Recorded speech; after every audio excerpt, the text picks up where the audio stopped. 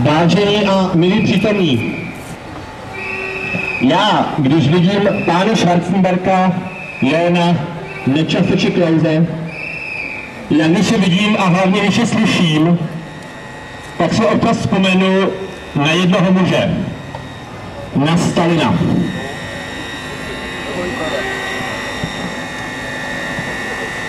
Ne, že by naši pravicoví politici páchali tak hrozné zločiny jako Stalin. Oni naštěstí nemají moc, aby mučili a zavírali do koncentračních táborů. Oni jen lžou a kradou.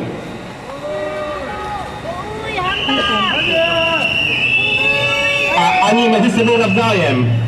Oni již naštěstí nemohou zinscenovávat vykonstruované monster procesy a popravovat se.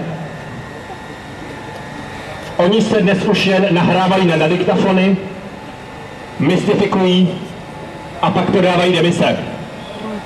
Nebo spíše demise nepodávají, bohužel.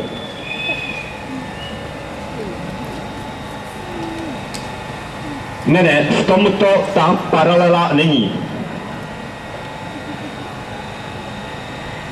Josef Vysarionovič Stalin jednal dle následující zásady. Než aby trestu unikl jeden jediný, jediný zrádce, ať je raději popraveno sto nevinných.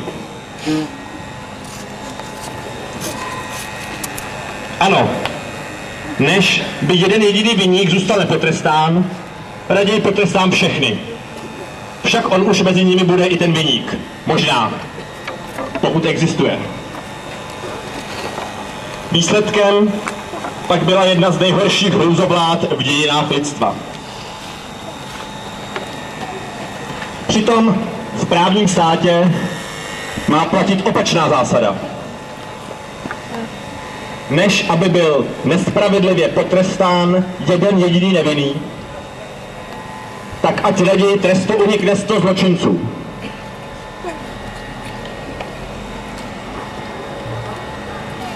Ano, vážení přítomní, než potrestat jednoho nevinného, je třeba pustit raději sto zločinců. Takto musí uvažovat demokratický právní stát, pro kterého přece musí být důležitější ten nevinný, než volání po trestu pro zločince. Jen takto může uvažovat ten, kdo chce být spravedlivý. Jinak se stát mění v teror. Samozřejmě, ani dnes se nedaří vždy tuto zásadu naplňovat. Jak vidíme třeba na boji proti terorismu. Ale přesto je důležité, že tato zásada je a že se k ní hlásíme. A jakou zásadu hlásají pánové Drábek, Bárta, Klaus a celá naše pravicová garnitura? Ti přece říkají, než aby jeden jediný chudý člověk zneužil nějakou sociální dávku, tak to ty dávky radši vezmeme stovce lidí, která je opravdu potřebuje.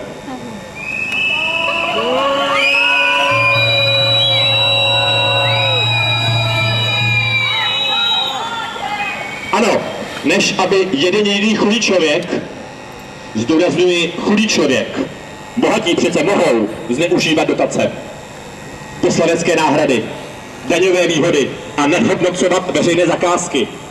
Bohaté přece nemůžeme trestat za to, jak jsou úspěšní. Vždyť by mohli odejít někam do ciziny, třeba do Číny. A co bychom si za bazík počali?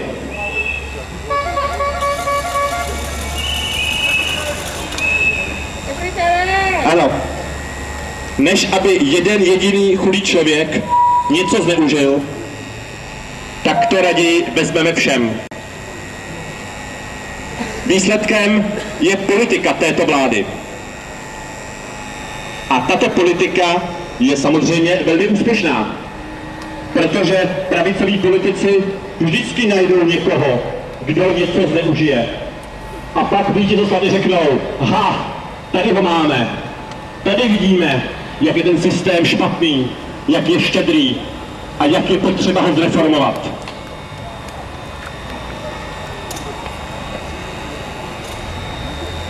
Příkladem může být právě připravovaná takzvaná sociální karta.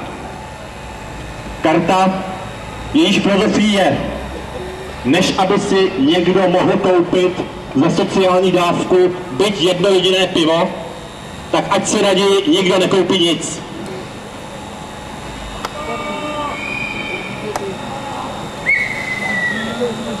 Přitom moderní demokratický sociální stát by měl vycházet z opačné zásady. Než aby byt jen jeden člověk trpěl opravdovou nouzí, tak ať raději dostane pomoc i sto lidí, kteří na ní nárok nemají.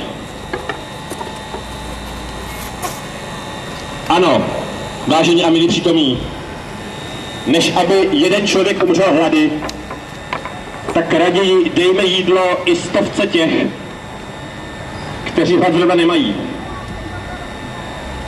Než aby jeden člověk umrzl v země na ulici, tak raději nabídněme přístřeší i stovce těch, kteří by měli snad i jinou střechu nad hlavou. A než aby byť jen jeden jediný člověk zemřel, nebo měl zničené zdraví kvůli neposkytnutí lékařské pomoci, tak nechť lékaři prohlédnou i stovku těch, kteří nemocní nejsou.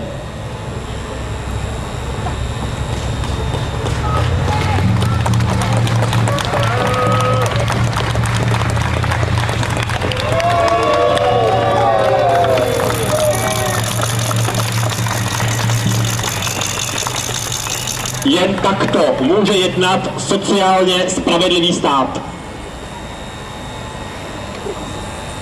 Jen takto může jednat stát, který má v ústavě věty, že, cituji, každý, kdo je v hmotné nouzi, má právo na takovou pomoc, která je nezbytná pro zajištění základních životních podmínek.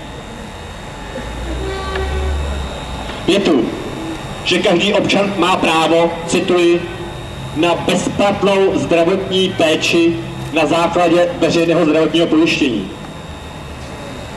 Větu, že každý zaměstnanec má, cituji, právo na spravedlivou odměnu. A že každý senior a každý nezaměstnaný mají právo na přiměřené hmotné zabezpečení.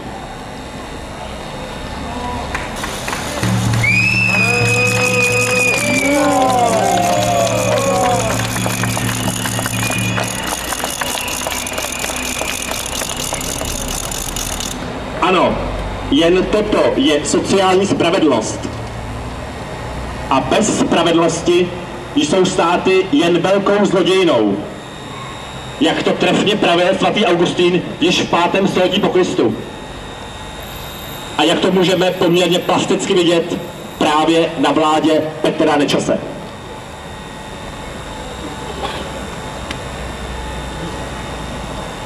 Mysleme na tyto zásady odmítněme onu stalinsko-nečasovskou posedlost s neužíváním. Posedlost tím, že za dluhy mohou ti chudí, ti romové, ti nezaměstnaní.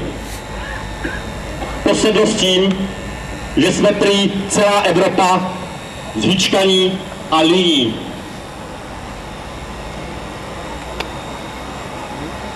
Já tedy kolem sebe vidím spíše workoholiky než lenochy. A myslím, že je jasné, že za dluhy nemohou ti líní. Za dluhy naopak mohou ti plní. Ti plní, kteří velice přičinlivě do svých kapes hrebou úplatky, daňové výhody a veřejné zakázky.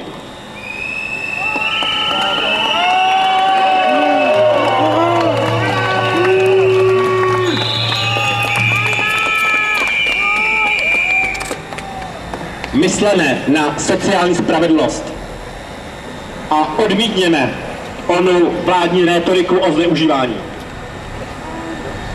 odmítněme ji právě nyní. Právě teď, když na stále více lidí otvírá svůj stán chudoba a nejistota. Právě teď, když se šíří strach, budu schopen splácet svou hypotéku,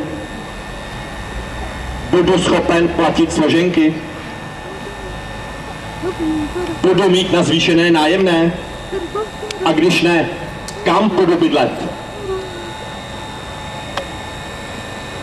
Právě teď. Právě teď. Nechtě od nás daleko myšlenka, že za naše problémy mohou ti dole. Právě teď pochopme, že za stav věcí jsou odpovědní ti nahoře. Ti,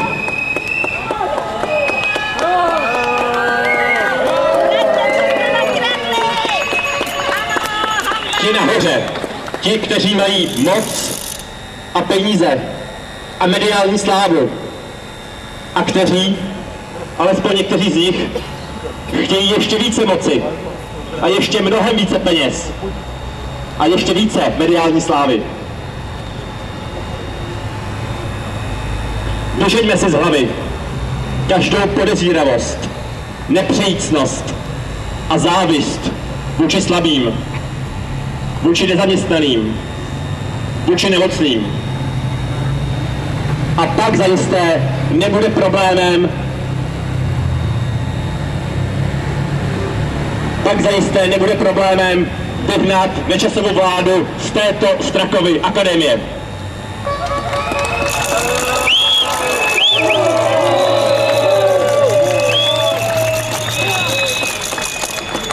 Přátelé, nic nekončí. Zapojte se, zejména přijďte, přijďme za 14 dní na odborářskou demonstraci. A vytrvejme. A jak říká jeden významný člen pro Altu, přátelé, hodně sil.